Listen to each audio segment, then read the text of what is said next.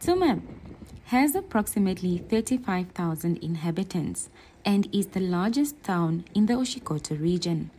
And for people who are into tourism, it's also the closest town to the Etosha National Park, which is the biggest national park in Namibia.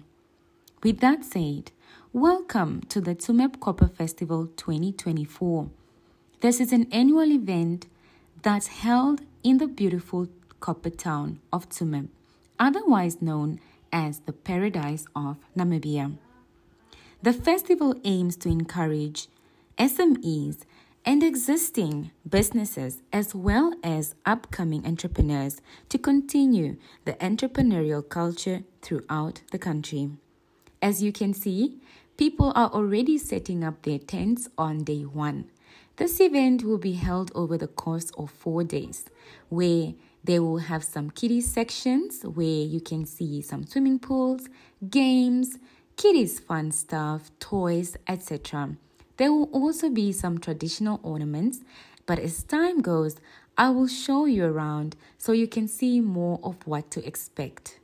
The Tsumeb Copper Festival is one that attracts people from all over the country.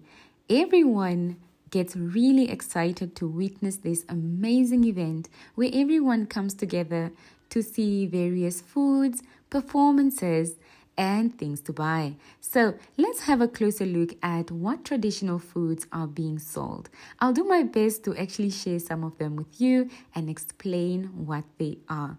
Over here, we can actually see some traditional food, and I would say these kind of foods are usually made by the Oshiwambo culture. You can see some berries, some dried spinach, and over here are actually some traditional clothing accessories that are worn with the traditional Oshiwambo clothes.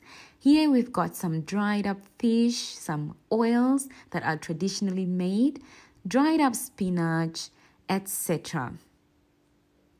These are also Oshiwambo traditional beads that are worn with the traditional attires. Moving on, we can see the next store is also selling some traditional food stuff, and these are actually traditional fruit that I myself used to eat when I was a child. But I'm not sure what they're called in English, but we would say enyandi in Oshiwambo. And then, of course, we've got more traditional foods here, some nuts and raisins, etc.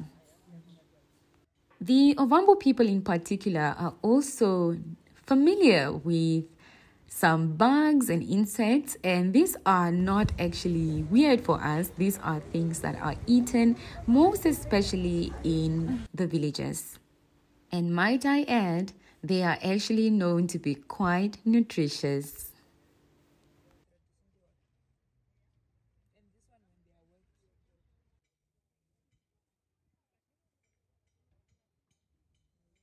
Right over here, we can see the famous Mopani worms that actually grow on the Mopani tree.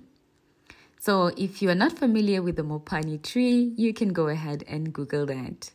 And next we have some flour. This is actually used to brew traditional drinks such as traditional beer, etc. And these are traditional baskets. Very, very beautiful. Moving on, I will take you through the park and also just walk you to the other section. I'm quite curious. I want to know what is actually being sold the other side. So let's go and have a look at what is on the other side of the festival.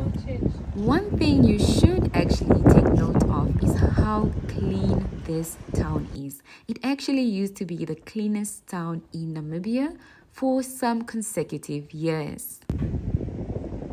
So now we are headed to the main section. I say main because who does not like a wonderful treat?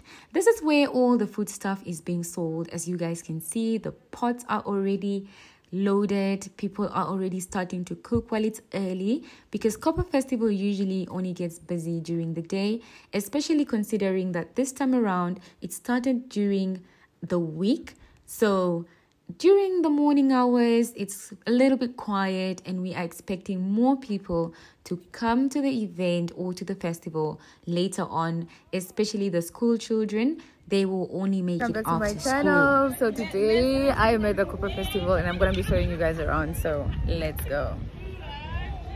So these, I would say, are traditional containers where they keep the traditional beers and drinks.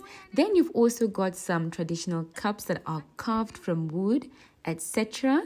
And these are used to serve guests during events and so on.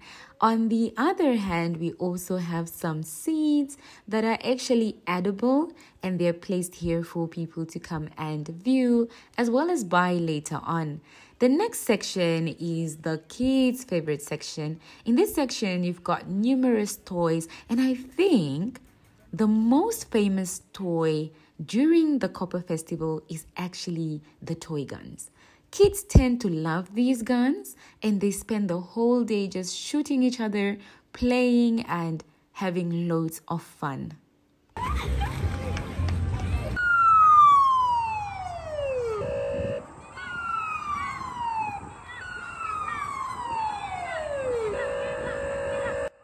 It is the second last day of the Copper Festival, and there is a parade going on.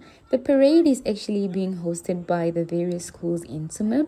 So I'm not sure why it's being held on the second last day of the event, but let's have a look and have fun.